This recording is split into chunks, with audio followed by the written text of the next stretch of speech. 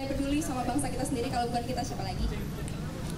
Lagu terakhir kita mau coba bawain lagu dari The Legendary God Bless kehidupan. Semoga kehidupan kalian semua diberkati.